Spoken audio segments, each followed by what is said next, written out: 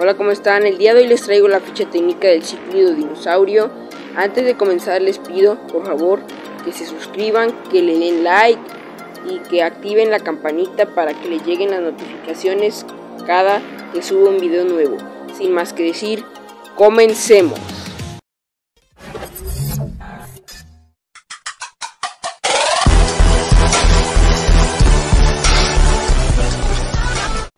Bueno amigos, personalmente el ciclido dinosaurio es uno de mis peces favoritos por su forma y por su coloración.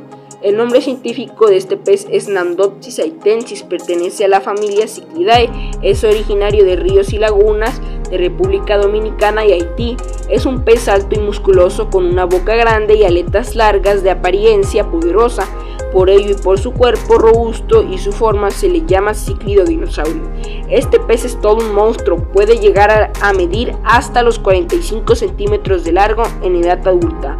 Por ello necesita acuarios muy grandes para que se desarrolle en óptimas condiciones. Este pez necesita un acuario de 500 litros por pareja. La temperatura es de 24 a 27 grados centígrados, el pH es de 7 a 8. Esperanza de vida. Este pez puede llegar a vivir de los 10 a los 20 años. Es un pez omnívoro y acepta papilla, alimento vivo, congelado y alimento comercial como es el pellet y la hojuela. El diformismo sexual. Los machos presentan un tamaño superior al de la hembra y el macho desarrolla una jiba frontal la aleta frontal y anal del macho terminan en punta, así es afilada como la punta de un cuchillo, mientras que la de la hembra es redondeada. Este pez presenta una dificultad media.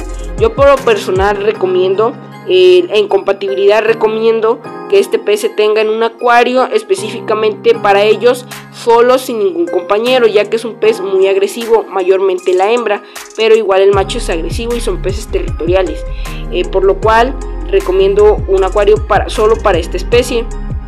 Espero que les haya gustado el video, suscríbanse, denle like y nos vemos para un próximo video y adiós.